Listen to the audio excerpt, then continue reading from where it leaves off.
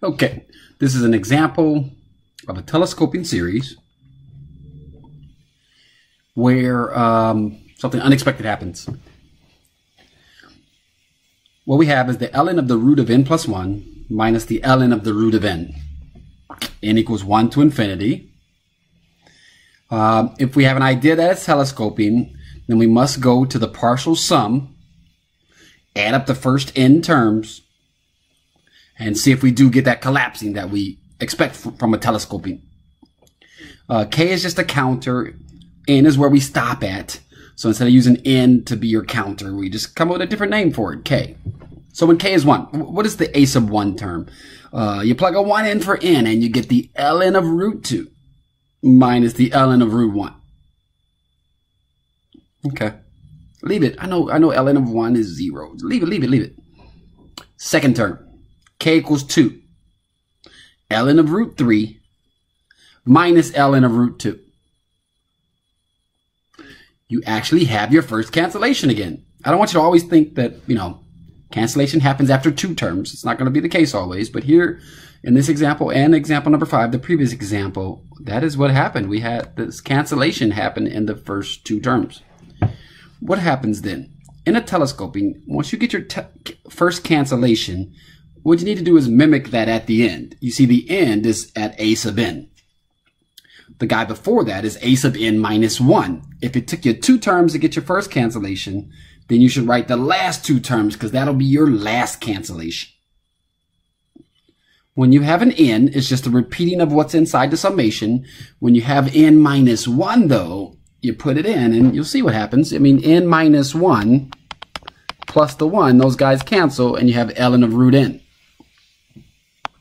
And so we uh the same cancellation that happens in the same manner that it happened in the beginning is going to happen at the end.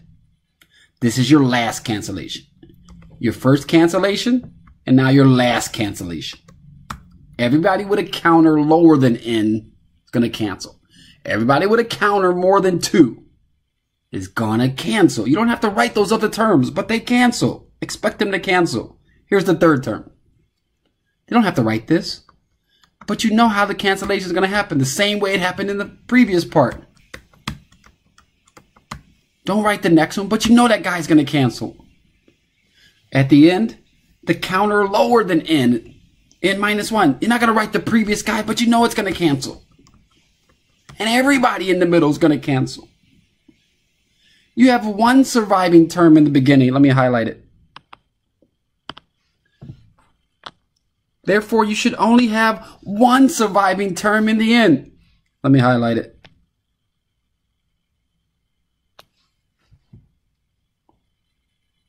And so S sub n, the nth partial sum collapses, the middle of it does, and you just have the representation from the first term and the last term. What are you supposed to do? You're supposed to take the limit as n goes to infinity on this. I, I know the first guy is zero. You know, log of one is zero. Square root of one is one, and log of one is zero. Negative zero, zero. Zero, zero, for sure. First part is zero. But what about the second part? n gets large. Okay, natural log is one of our slowest growing functions, but it will go to infinity as n goes to infinity. And so we then have that this limit is negative infinity. What does that mean to you about the series? Well, when this limit is infinity, negative infinity, or whether it uh, does not exist, any of these three options here leads you to the conclusion that the series diverges. You have a divergent series.